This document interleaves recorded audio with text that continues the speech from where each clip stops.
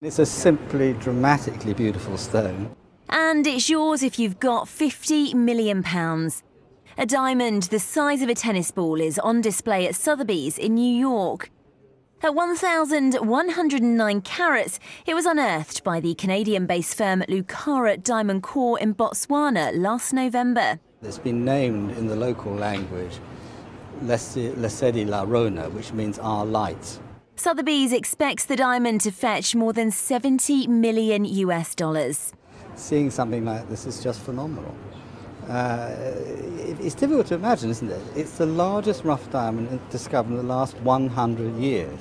The biggest gem quality diamond ever found is the Cullinan diamond, a 3,106 carat stone found in the Premier mine in South Africa in 1905.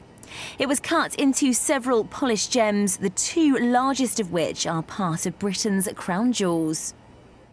Despite the massive find, exports of diamonds mined in Botswana fell 38% to $2.4 billion last year from 3.9 billion in 2014, the lowest shipment of gems in six years.